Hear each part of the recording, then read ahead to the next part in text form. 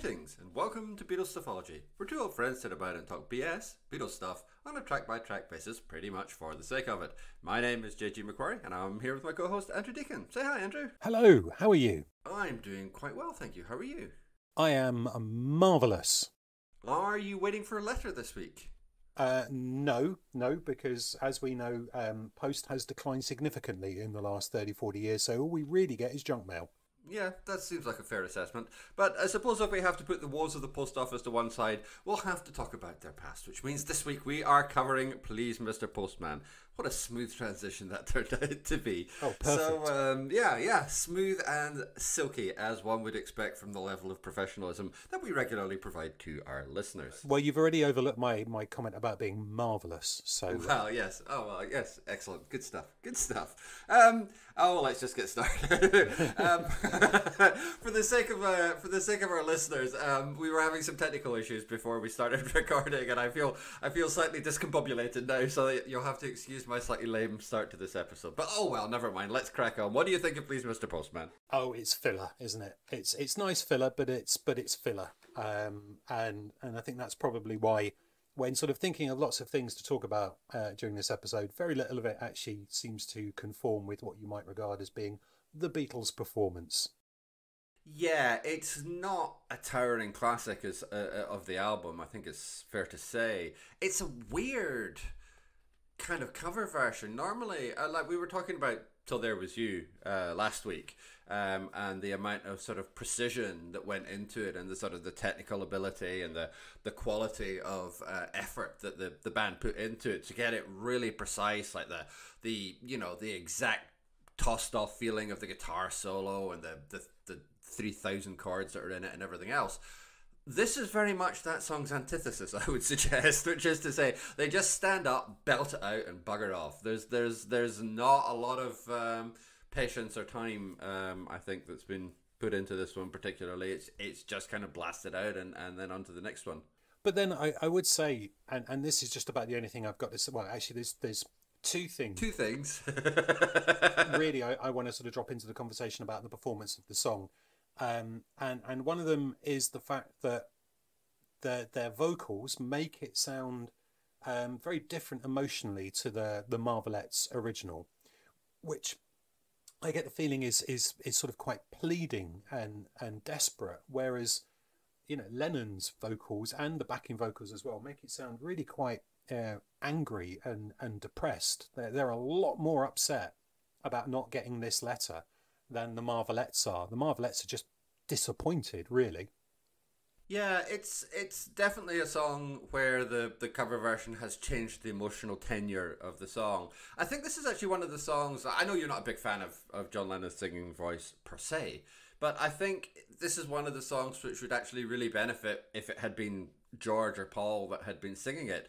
Uh, Lennon steamrollers this song. I mean, he just he screeches it out with the same kind of emotional cadence as as Twist and Shout, and that's not really what this song needs. Its its uh, subtlety is just annihilated in this version, and it's not like the original was massively subtle. Um, but in in terms of that kind of just belting it out approach, it just it smothers any kind of emotional content that the song really has. Like you said, instead of that kind of pleading or kind of even slightly whimsical in the, in the Marvelettes version as well, um, that kind of tone is completely lost here. And so, because it's basically just being shouted out, it, it, it can't help but come across as kind of very a- aggressive, and particularly in Lennon's quite sort of nasal drone, which I don't necessarily mean as an insult, but that's just what he sounds like. But uh, but uh, you know, it, it that that flattens it still further. But a slightly sweeter voice, like McCartney's voice, I can imagine would be a little bit closer to the original, but he would still be able to find some kind of emotional space to to put something into it. And even even George, who has a fairly thin voice at this point in his career, um, but that that would also kind of I think maybe lend this cover version that emotional maybe fragility with George. Um, I think he would sound quite fragile singing the song. Um, and that would again give a slightly different emotional palette, but that just just screaming it out just does not work for this song. So then I wonder if they had changed the the vocalist, whether or not my my second point might have been addressed, and that of course is the comparison to Boys from the first album, in that here they do change the uh, the gender, and it is since heard, heard from that girl of mine, and um, you know there must be some word today from my girlfriend so far away. Um, and I wonder if that kind of knocks a little bit of the playfulness and the fun out of it as well, because it's now just a case of right, we're going to do the cover, but we're also just going to tweak it so that you know everybody knows, everybody knows, there's no risk of any miscommunication here. Uh, which of course is interesting, bearing in mind all the supposed rumours about him and, and Brian and you know all of that sort of stuff. Yeah, I think it does. I think it does knock some of the fun out of it as well. It's actually slightly weird to hear the song girlfriend in a song sung by the Beatles. It's not really a word that they use. You get girl, you get baby, you get child, you get sweetheart, you get a whole bunch of things. But actual girlfriend just isn't a word a word that you hear that often in, in Beatles songs. It kind of, especially not at this point in, the, in, in their career, it, it kind of sticks out and it's not a word that Lennon seems comfortable singing. Um, now, whether that's because it's gender flipped and he's used to singing boyfriend if he was singing along with the records or whatever, but I mean, they, they played this song a lot by all accounts in 1962. So you would think he would have got used to singing it at some point, but he seems weirdly uncomfortable whenever he has to sing girlfriend, and I don't. I don't really know what that is, but it, it really stood out for me when I listened. I hadn't listened to this song in oh god, years and years. I can't remember the last time I listened to this album, and certainly not um, this cover version. And it just really stood out how odd that word feels in John Lennon's mouth. So okay, right. Well, this this is where where you're going to have a, a, clear argument with uh, setlist.fm because they've got them uh, down as only having played this live four times. Oh, really? Yeah, including once in 1962. So um, fight everyone. There's only one way to find out. Yeah. Um, I, I am not sure that's right because I was reading the um, Ian MacDonald book earlier on, which I have now got in front of me. So if you'll forgive a, a brief bit of my dulcet Caledonian tones uh, reading from it. The Beatles played it frequently during 1962, but it had lapsed from their act by 1963 and required some time to get right in the studio. That's from, uh, yeah, Revolution in the Head. So, yeah, um, I'm going to have to fight setlist.fm, I'm afraid. Oh, so that's okay. I mean, all I would say is obviously Ian MacDonald's famous for his sloppy research. yeah, well, absolutely. He will know, or his solicitors, uh, or his estate, if he's no longer alive, will know that was a. Uh, anyway, never mind. Um, and we've, we've said many times when uh, referring to setlist.fm, of course, because it's a, a crowdsourced uh, website, that there's ever such a slight chance that there might be mistakes on it. So um, I'm, I'm quite happy to uh, um, to believe that it would have been in their set list um, on lots of occasions. So no problem there. Although, of course, there is a fade out on this, and you know, I just sort of wonder if they had played it a lot, might they perhaps have had a um, a sharper ending as they they quite often do. But hey, we're into the realms of speculation here. Yeah, I mean, it might just be as simple as something as screwing up the take in the studio, and I'll just fade before the mistake comes in. It, it could be something as simple as that, but uh, who knows? As you say, uh, realm of speculation. But either way, yeah, that word girlfriend sticks out, and, and Lennon isn't comfortable singing it, and and there's just a weird sense that he doesn't feel. It's not just that word, but I don't think he feels very, invested in this song as well. And we know that this was recorded under, you know, great pressure, great speed, etc., etc. Even if not quite as much speed as, as Please Please Me. So I'm sure there was plenty of pressure to just get it done, get on to the next one. But there's no real sense, I don't think, that he's invested in this song. He doesn't sound like he's really waiting for a letter. He sounds like I've got to sing this bloody thing. Let's get it done. Um, maybe, and it, maybe it's he's very undermining. Maybe he's got sympathy for um, you know the working class, and and the, the, the song seems to blame um, put a lot of the blame on the the poor postman rather than on the person who has not sent the bloody letter, uh, which I think is grossly unfair. And in fact, at various points in there, it seems to be inducing the postman into doing something that would get them fired by just basically handing over mail that belongs to somebody else. So, you know, maybe maybe his sympathies were really with the postman. Well, yeah, maybe. In fact, you say that you, he's they're inducing something which you get postman fired. Um, given that this is an American song, in fact, it's a federal offence to uh, to inter- interfere with uh, with uh. So it's it's even worse than firing. It's it's actually a, a proper offence. Um, yeah, maybe. I feel, again, we may be sort of wandering into the realms of speculation without a lot of justification other than, you know, this maybe isn't Lennon's best performance. Well, yeah, fair enough. I, I just think that, that maybe criticising government agencies was probably more in George Harrison's oeuvre at this stage. Yes. Um, in the run up to, say, Taxman. Uh, than, than John Lennon, but you can see where we're going with this as a song because it is it's it's yeah it's perfectly fine. Get it in, get it done. Um, it fills up a, a nice space on the album before you then move on to something else.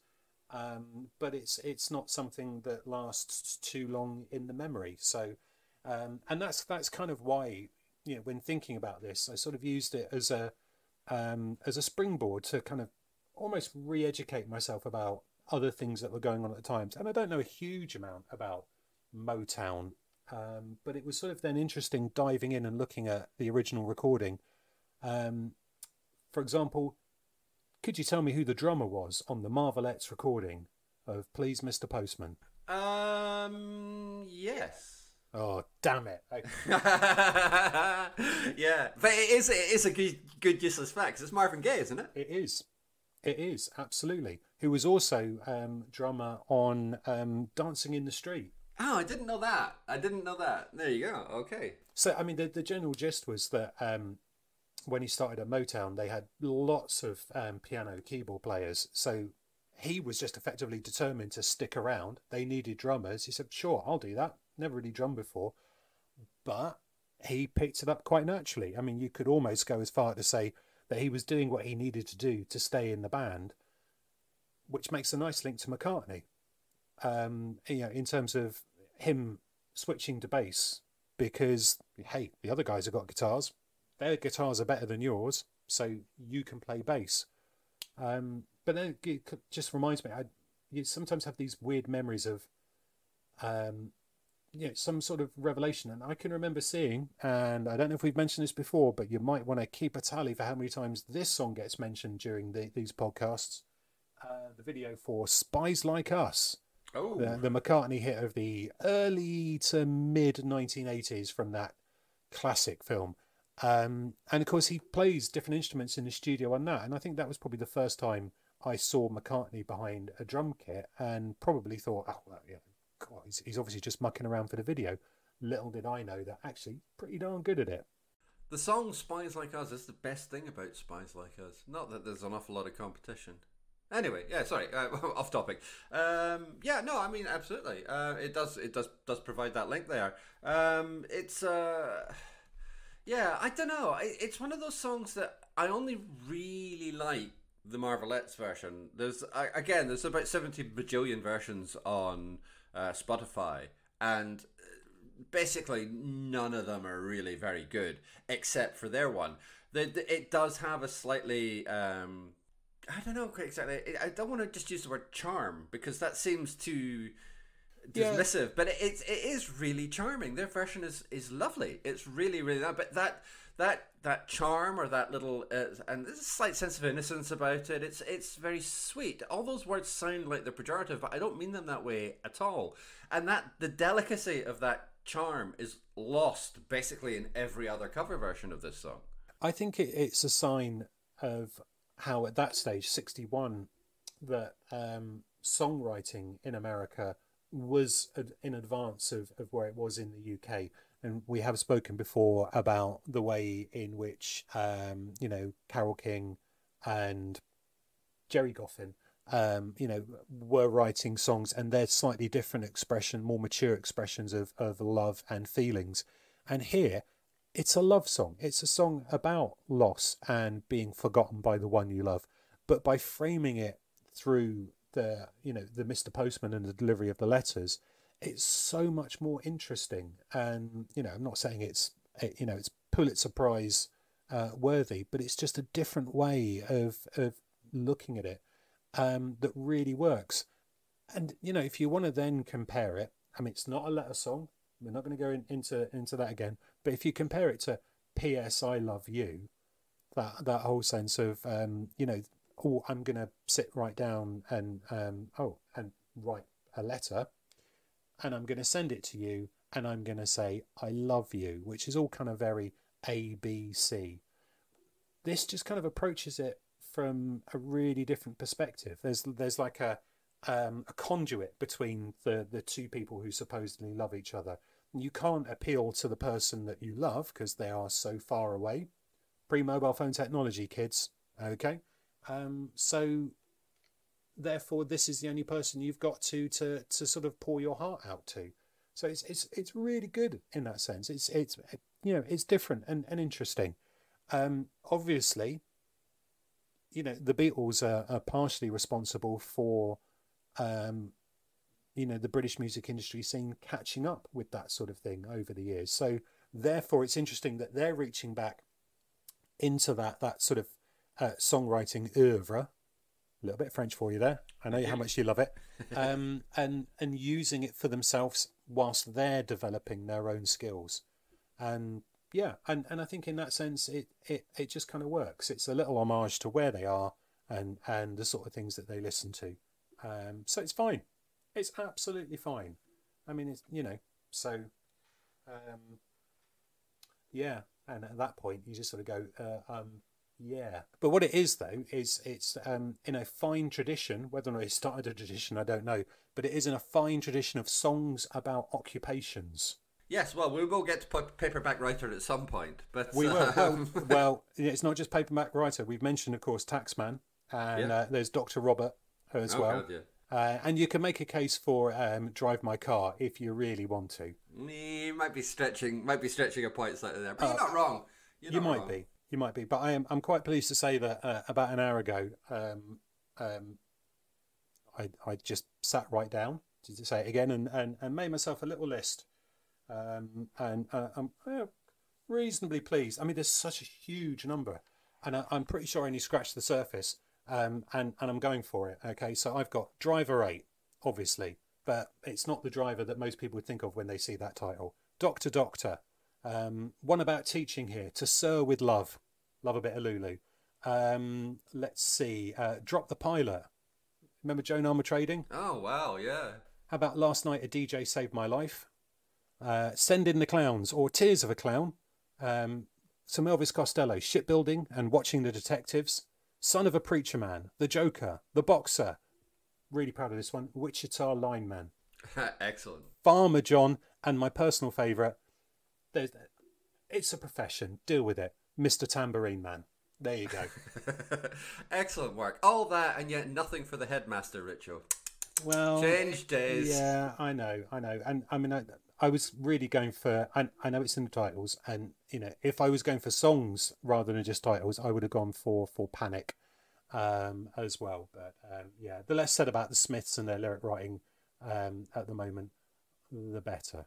Yeah, yeah, no, that's that's entirely entirely fair enough. I do think you made a very good point when you talk about the sense of perspective about this song, though. I think it is one of the things that makes it an interesting piece because, um, I mean, you've you obviously you've identified um, sort of letter songs and all the rest of it, and it would be kind of interesting to know whether this was a a specific reaction to that genre or if it was just a grab bag of stuff. But either way, the other thing about this is that it's a very new song by the time the Beatles are covering it. It's only a couple of years old. You know, again, last episode we were talking about the Music Man that um, uh, with uh, Till There Was You, yeah. and that was what five, six years previously. This is only a couple of years, and if if uh, the Ian MacDonald book is to be believed, then they were covering it a year after it had been uh, released. I'm sticking. I'm sticking with Mr. MacDonald at this one, but but that's not uncommon. I mean, if you listen to um, um, Elvis Costello uh, talking because his dad played in one of those um, sort of show bands that would play a lot, and in fact they would record um, um up to date songs, um, and and basically he would get all the new singles, listen to them, and then work out how to play them, and then they would record their their own version, and you know you would see, wouldn't you? Um, there are there are occasions that if we'd done some research um, I'm sure we could we could uh, bring to mind where you'd have several versions of the same song in the chart at the same time. Didn't it not happen with the Beatles and Billy J. Kramer? Yeah, yeah, yeah. Do you want to know a secret? Yeah, yeah. There you go. Um, it's like, well, hear it. We're going to record it, and and and it would be money for um, the record company because you know, again, you know, just to sort of slightly rehash previous conversation, yeah, record companies in, uh, would tend to invest in songs rather than bands, and the Beatles were regarded as the one that broke the mold because they were writing their own songs. Um, but then that might explain why you know it was just so easy for um, "I Want to Be Your Man" to um, you know to be given to the Rolling Stones because you know what, it's extra income. The Beatles they might not last, but these songs that they've already written, great, we can make as much money off them as we possibly can. I was going to say that's how he got that's how he got into the Beatles, isn't it? Because his dad used to record basically cover versions of, of right. Beatles songs. Yeah. yeah, yeah, yeah. So you know, just sort of sitting down transcribing it, trying to work out how it was being played it was not an uncommon thing. So um, absolutely no, but I, I think also it, it, I mean, yes, that's that's absolutely true. But I, it's also the speed with which they are absorbing these influences. You know, we've talked before in the podcast about the kind of songs that they're covering. They're covering a lot of black girl groups and from America. They're covering a lot of stuff which you know the old cliche about sailors bringing in records to Liverpool docks and having access to music that maybe you know wasn't out there in the wider world, all that kind of stuff. They, it, it's just the sheer speed of that they can kind of pick this stuff up and and deliver it. And for all that you know, we've both been sort of fairly critical of of this as a cover version. I mean, you know, it works in its own merits, and and particularly, um, I think it's maybe unfair in a way to compare it to the original recording because at the time of release 1963, um, how many people in the UK would have actually heard the Marvelettes original in any case? So There's a fairly good chance that this would be their first exposure potentially to this song. Um, so yeah, it, it, it's you know it, it, does it does function in its own way, um, but just the speed with which the, those those influences can be absorbed and then you know plowed back into their own songwriting style is is you know genuinely very impressive. You will be pleased to know that it did not chart in 1961. Um, and in fact, the Marvelettes didn't have a hit in, uh, in the UK until 1967. Okay. One thing that does kind of slightly confuse me, though, is that it is listed as um, reaching silver certification in the UK, but um, I guess that could be um, sales over a very long period of time. Um, by the way, worth worth pointing out that the follow up single um, in well in America at least to please Mr Postman for the Marvelettes was Twisting Postman. um, I missed that from my list, and uh, they followed that up by with Playboy, which I also missed from my list. If indeed you can regard Playboy as an occupation. Oh, later on, there's my baby must be a magician. See, it's it, it's a theme. It's a theme. Yes. Yes. I can't say that's really given me anywhere to go, but yeah, you're you're no, right. That's, no, it that's definitely a theme. I'm I'm not arguing with you. the Marvelettes, they were good. There you go. Yeah, let's let's move sure on from were. that.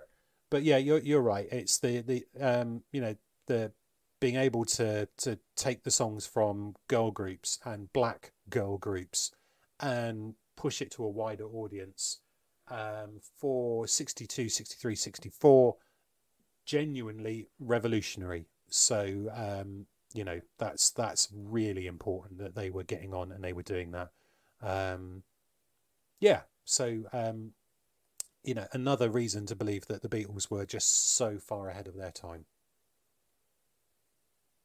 I've given you nowhere to go with that either, have I? Um, no, not a lot of places to go, and I think that's fine. I think we can probably call it there. So, um, I guess that means score time. Uh, what do you want to give, please, Mr. Postman? Oh, um, I mean, it's uh, straight down the line, six out of ten, really, isn't it? Um, you know, it closes off side one um, with a reasonable flourish. Um, and picks people up again after the fairly dirge like "Till There Was You." So yeah, um, um, six out of ten, perfectly decent fairly forgettable. Fair enough. Uh, yeah, we should have probably mentioned the fact that this kind of rounds outside one of the album and didn't, but you have now, so that's good. Excellent. Thank you for doing that. Um, I think I'm going to give it 5 out of 10. Um, I still don't feel the performance is very good. I don't like the way that it flattens out the original, even if what I said before is true about maybe it's a little unfair to compare the original. Well, too bad I'm being unfair. Um, so yeah, I think mm, 5 out of 10. I'm happy with that. I'm happy that you're happy. no half points and no French. Fair enough. Is this the first time I've given a song a higher score than you? I mean, normally I'm I'm the fairly harsh one, but uh, I think it, if it's not the first time, it's one of the first times. Yeah, it's it's unusual that I end up going lower, but in this case, yeah, yeah. Okay, right. Moment in history, folks. Lovely. Excellent stuff. Right, we can wrap it up there. You can contact us by email. We are BeatlesStuffology at gmail.com. Uh, we're on Twitter at Beatles underscore ology. You can find more of my writing on music and TV and movies and a whole bunch of other stuff at www.jgmacquarie.scot. Please like, rate, and review us on whatever podcatcher you're using so that more people can find the show. Next episode, we flip the disc and head over to side two with Rollover Beethoven. And of course, we hope you're going to join us for it. But until then, keep listening.